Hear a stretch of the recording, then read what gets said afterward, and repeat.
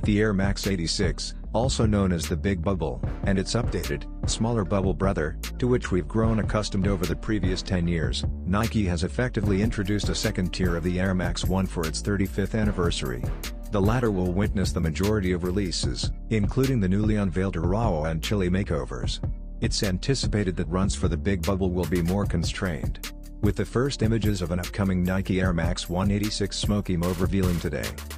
The pair has a vintage appeal with hues evocative of a bygone era by pairing smoky mauve and dark team red atop a traditional white mesh and midsole.